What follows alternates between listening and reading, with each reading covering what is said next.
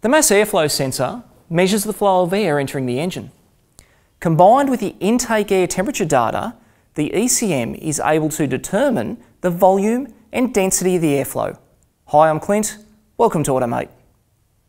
A MAF signal high DTC will be logged if the voltage or frequency of the MAF output signal rises above a preset limit for a predetermined time.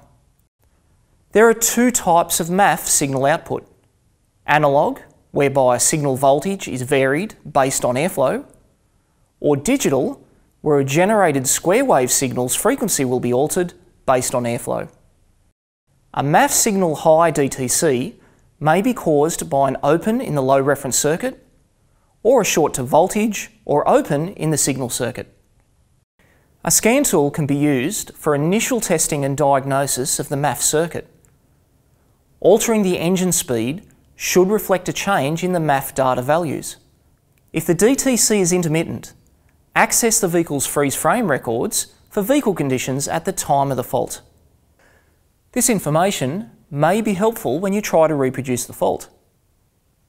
If the fault is intermittent, turn the ignition on and monitor the scan tool MAF data while flexing the harness between the MAF sensor and the ECM. If the scan tool data value rises while doing this, the fault will be harness related. Like what you see?